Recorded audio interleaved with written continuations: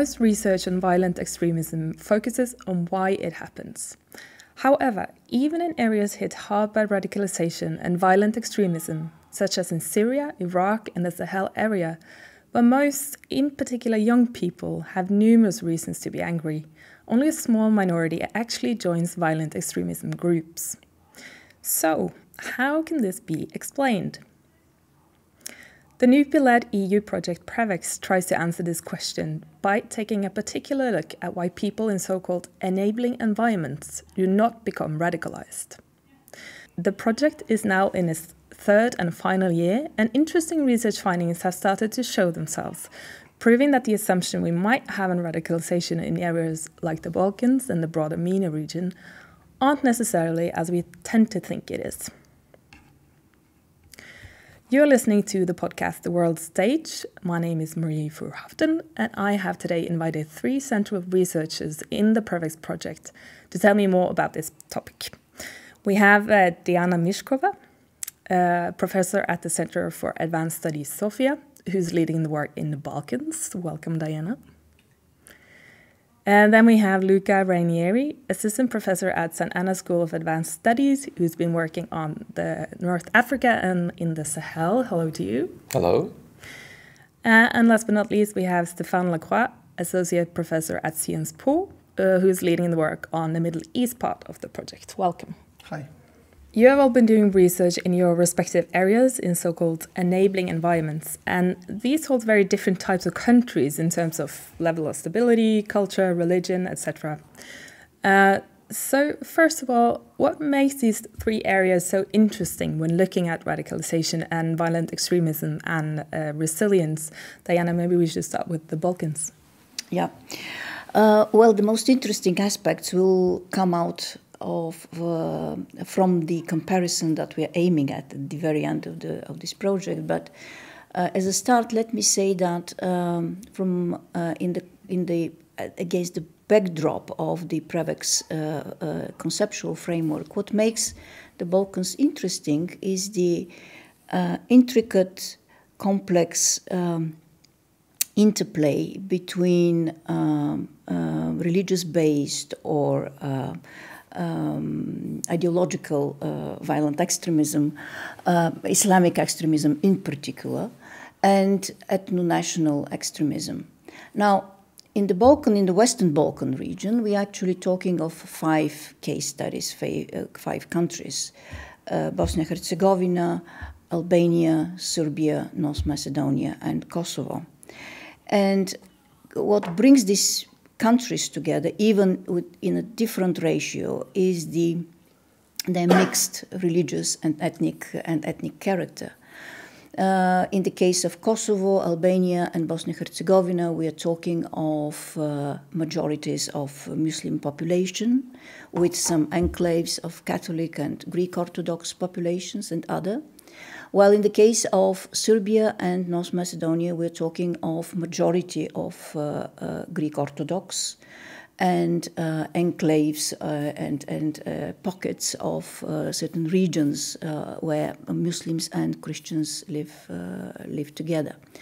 So it is, on the one hand, the coexistence, and on the other hand, the uh, mutual entanglement of this kind of, of different radicalizations that make the Balkans an interesting case, uh, uh, an interesting region to, to look into uh, from the point of view of the uh, Prevex agenda. Hmm. And uh, what about the Middle East, uh, Stefan? Well, the Middle East that we, we look at, so we've been mostly looking at four countries in the project, although we have things to say about most of them, most of the countries of the region, but there's four that have been particularly featured, which are uh, Egypt and uh, Jordan and Syria and Iraq. Of course, those are very different countries um, because Syria and Iraq have been going through um, a civil war that's been going on for several years. I mean, in the case of Iraq, it's probably almost 20 by now. Uh, in Syria, it's more recent. But those two countries, of course, are similar in the sense that the state is very weak. You have a lot of areas that escape the control of the state. You've historically had um, a proliferation of um, armed groups. Um, Egypt and Jordan are different because then you have there you have a state which is at least pretends to be pretty strong in the middle and very repressive in the case of Egypt. And so those are sufficiently different cases so that actually they are interesting in the comparison, right, among themselves, because what comes out of them, I mean, for a researcher, basically, it's always interesting to look at different things that bring comparable results so that you can actually, you know, uh, make conclusions out of that. Um, and and in all of these areas, we have uh, um, you know occurrence and non-occurrence, and and the question of non-occurrence has been very central in, in the project.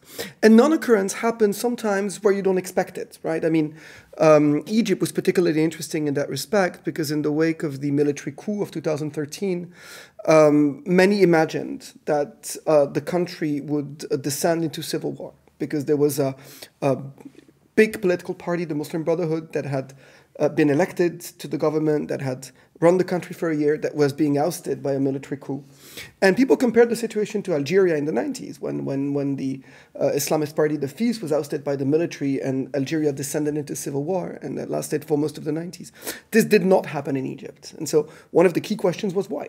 Um, so those are some of the things that we look at. And of course, in Syria and Iraq, it's a different situation, although even in Syria and Iraq, again, certain regions were more prone to uh, the formation of jihadi groups, certain communities. And so, what we're interested in is trying to compare all these different things and, and understand what the patterns are. Mm. It's very interesting also because for, for a non expert, you would think uh, that, that has been made this sort of. Um, uh, regions that they must have some so much in common. But as you both saying, you know, all these countries uh, they are so different uh, even in this region. So absolutely, absolutely. Even even the, the, the, the, timing of their inception as political uh, state political units is, is different. I mean, Kosovo being the youngest.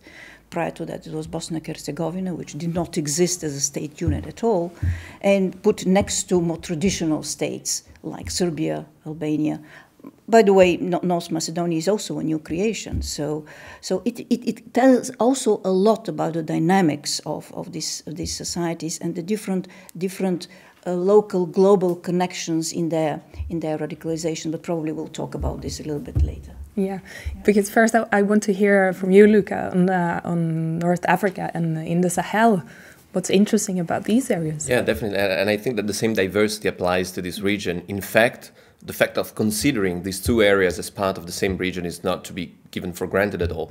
Uh, traditionally, uh, sub-Saharan Africa has been considered something completely different from North Africa, and indeed, um, social and economic patterns are very uh, different in these two areas. However, there are also uh, connections that are very important, particularly when speaking of um, of issues that have to do with violent extremism.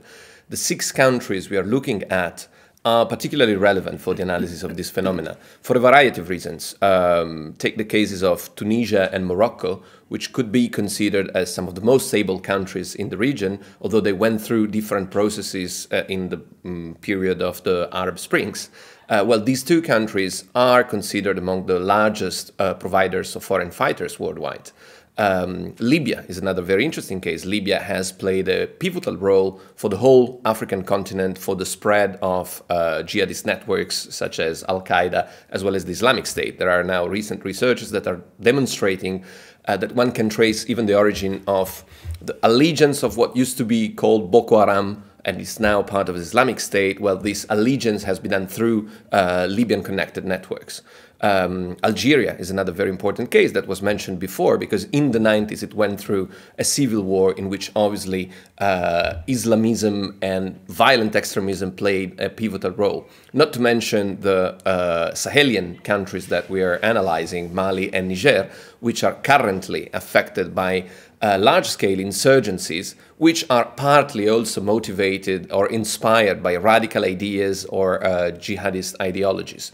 So these makes these observations make of this area a very very interesting environment to study violent extremism, but also, as mentioned, to study um, situations in which, in spite of all potential factors being there that would motivate people into joining uh, violent extremist groups, we don't see this happening. That is not only the case for the majority of the populations, but there are also specific regions which appear to be preserved from this phenomena. Take the case of the region of Agadez in the north of Niger, which is surrounded by hotbeds of jihadism all over the places, and still appears to be quite a resilient region uh, in the face of this phenomenon. This is a very uh, interesting puzzle that we try to interrogate in our research. So the project still isn't finalized, I know, uh, but what are your most important findings so far? Can you say anything on on this topic? Maybe you can uh, start, Stefan.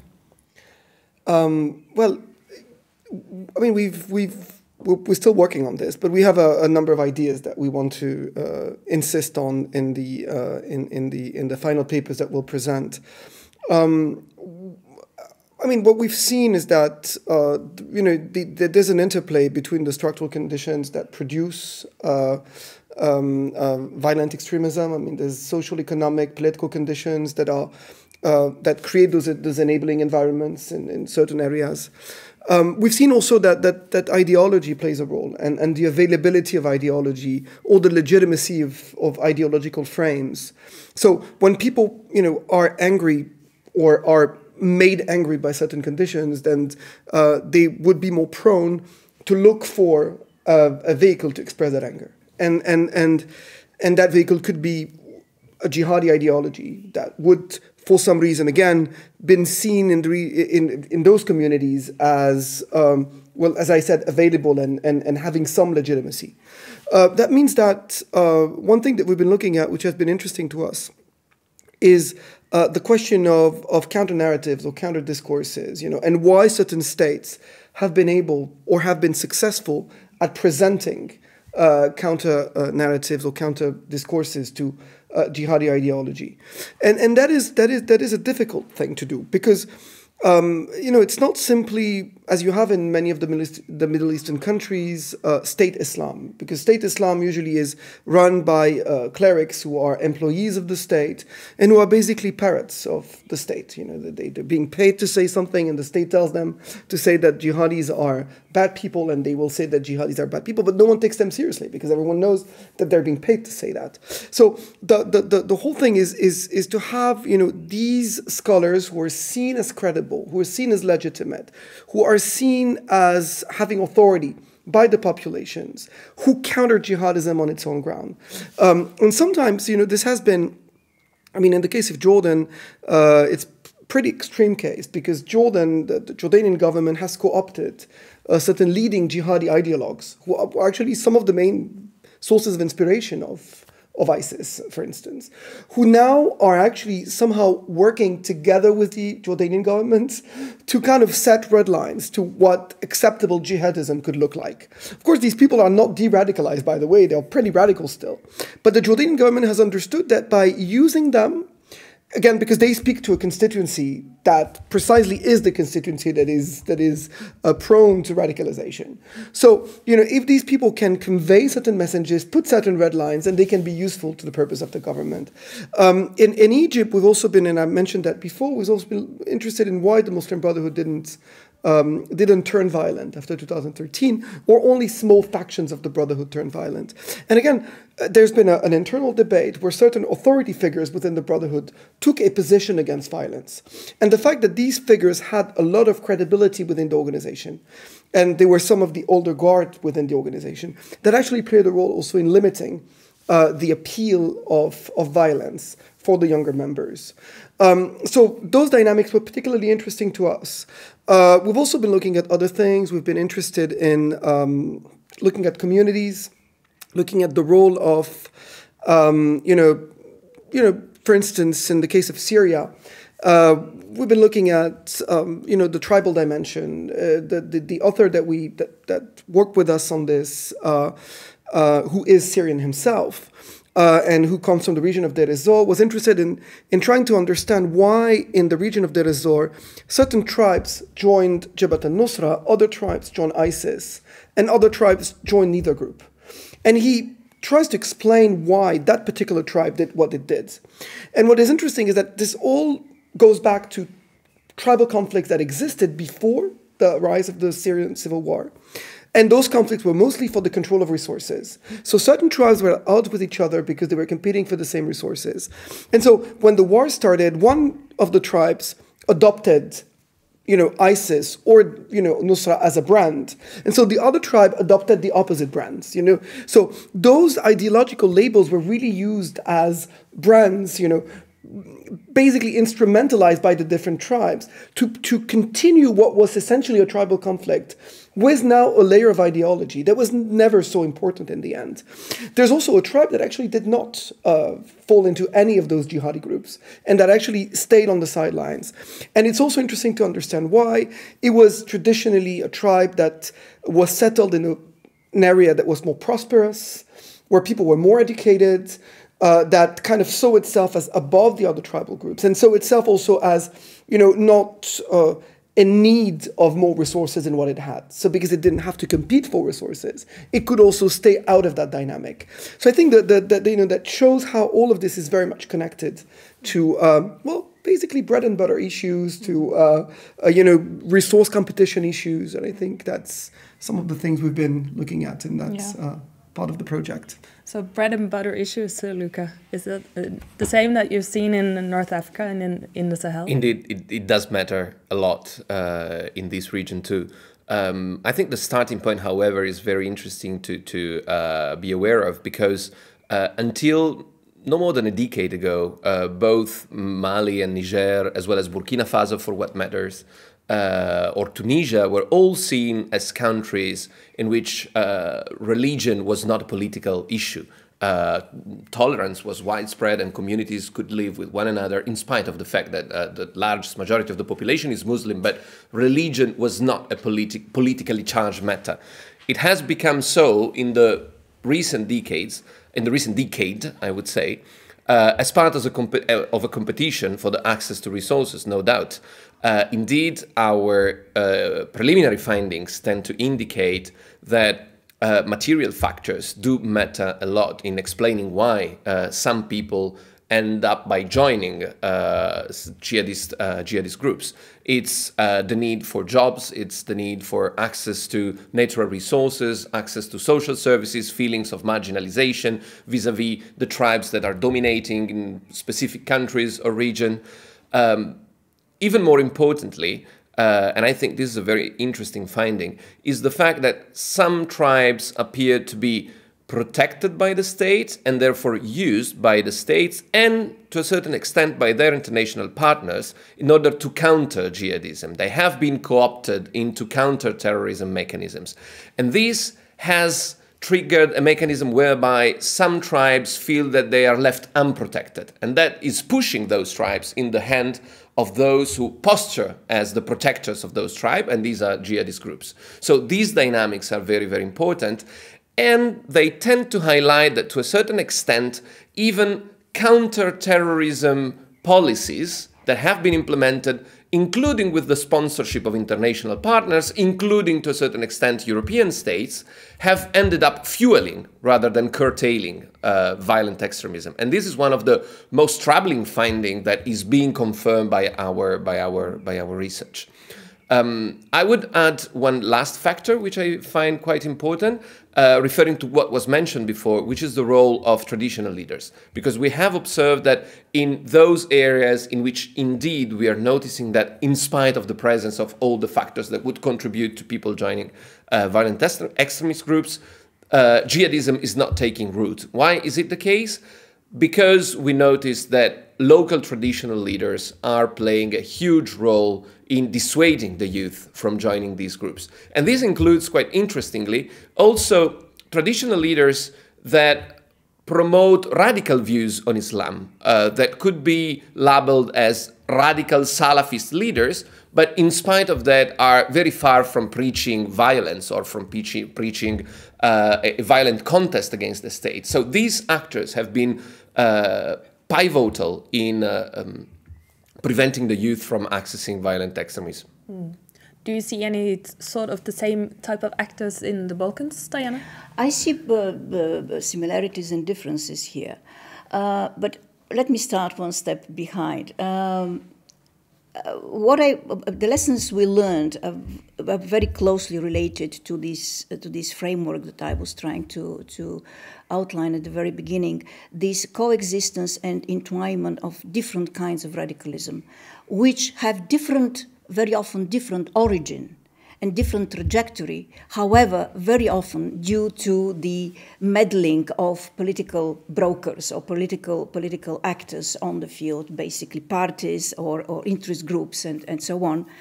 Um, become politicized and instrumentalized so as to engender ultimately uh, a violent extremist kind of, uh, of line of line of, of, uh, of behavior and radicalization uh, generally. Now, on the one hand, we have to bear in mind that in the Balkans, this actually does not refer only to the Balkans or Southeastern Europe. It refers also to Central Europe. These are states that had emerged relatively late uh, out of imperial networks, uh, sorry, uh, out of imperial frameworks. Which means that uh, their modern history is intrinsically related with unsolved ethnic national issues. Now, the politicization of these issues is something which we would take as, as a logical first, first step, so to say. Religion, however, also had played major part in this because national identity and religious identity in this, in this uh, part of Europe has been closely, closely entwined. This doesn't mean that the coexistence of religiously based and ethnic based radicalization necessarily would lead to violent extremism, but combined with the, uh, um, the emergence of these young and unstable democracies, with uh, uh, the congruence of, of political and economic protracted crisis, with dysfunctional states, and the tendency of local political actors to exploit the, these uh, uh, religious and ethnic tensions to their ends necessarily creates uh, by default creates this kind of of, of uh, um, uh, environment which is so um, uh, which which which creates the, the, the potential for for radicalization. at the same time, however, these two kind of radicalizations underwent different different trajectories since uh, the civil war in in, in Syria. Uh, in the in, in the first place, I mean, we should we should bear in mind that that uh, jihadism was basically imported into this region, into the into the Western Balkans, and afterwards it was exported via foreign fighters. But locally, it didn't find fertile, fertile soil. And this is also where I find certain, certain similarities. And the answer there, then, however, might the answers to this might uh, might uh, differ. One answer, which is very similar, is the role of traditional le uh, leaders, and in the case of the Balkans, of the, uh, also of the traditional form of Sunni Islam, which is the heritage of the Ottoman Empire, which in turn means that it is a kind of Islam that had long been imbricated, so very, very uh, uh, uh, sort of domesticated in a, in a, in a sense together with, uh, with the local Christian, uh, Christian denominations. So uh, we, we can see a different trajectory in this, in this sense that the one was important, the one was, was local on the one hand, and also the, the, the dynamics in, in this local, local transnational interaction. Because uh, while, while the, the religious based, the Islamic extremism was basically engendered out of transnational interaction of, of global, uh, uh, uh we may say global Islamic mobilization, the ethno-national radicalism was ultimately the outcome of domestic or regional uh, uh, uh, tensions, problems, and networks as well, because Serbian and Bosnian ethno-nationalists operate very often closely, closely uh, with, with each other. Whilst the, the, the, jihadists, so to say, are, are more, I mean, they, they operate outside the region, but in a global, in global networks. Mm. There is a lot to talk about sure. on this topic, and uh, we could make an episode on each country, I guess. Um, but uh, I think we're gonna we're gonna stop there. But before we um, finish off for today, I wanted to bring in uh, Steven Blockmans. You are the uh, director of research at CEPS, Center for European Policy Studies in Brussels.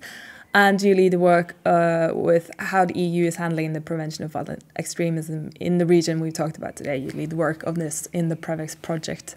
So, um, based on what you've heard here today, uh, what are the implications of what we've heard uh, for the EU's work on preventing violent, violent extremism? Well, they're multifold. Obviously, you've uh, you've heard very context specific uh, findings, of course, being derived from the field research. I think um, taking one step back, one should realize that the European Union is not a unitary actor and is composed of 27 member states, many of whom have their own history in violent extremism, trying to prevent or counter it. And so, what the project has done is to first of all look at those uh, lessons learned, practices which have evolved over time in uh, EU member states, and how they've percolated upwards onto the supranational level of, on which the European Union is active, both internally as well as externally.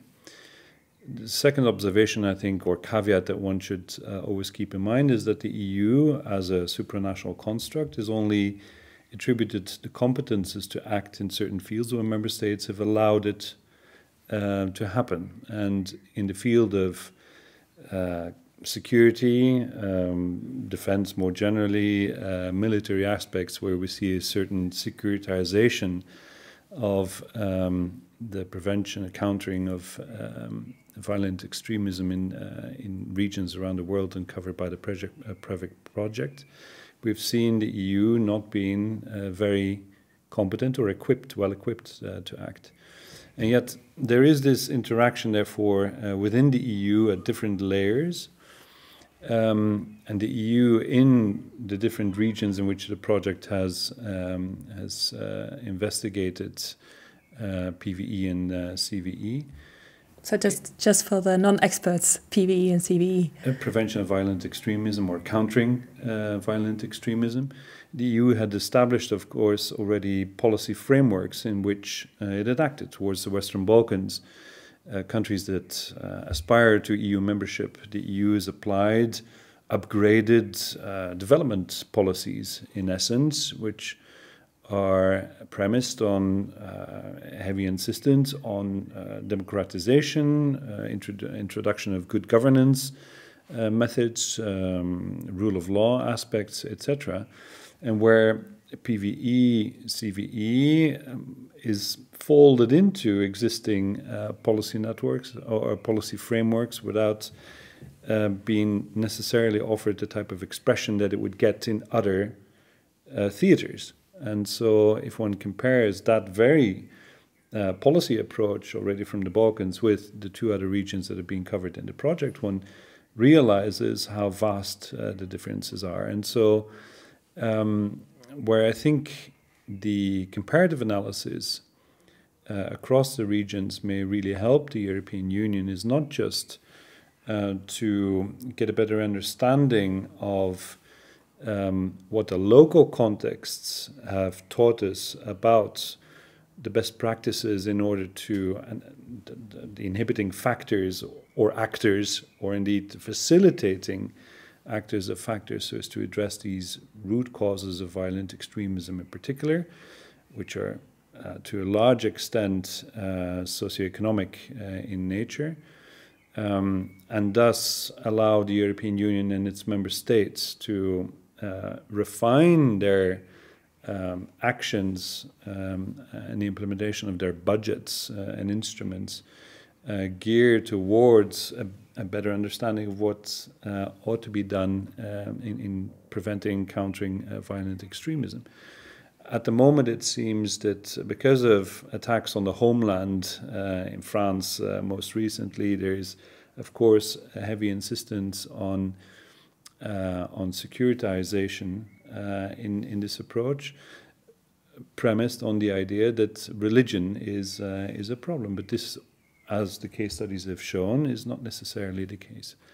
And uh, so I think, in all modesty, um, what the findings of the project have revealed are relevant, I think, for the European Union uh, to refine their policy mix uh, in a context specific uh, sense, and by applying a lens which has hitherto uh, not been used, which is that of PVE, CVE, and where the EU has, of course, implemented ample uh, instruments and, and projects uh, in the past, but not necessarily with the name of preventing or countering violent uh, extremism. And this is where I think the project can really add value. Mm.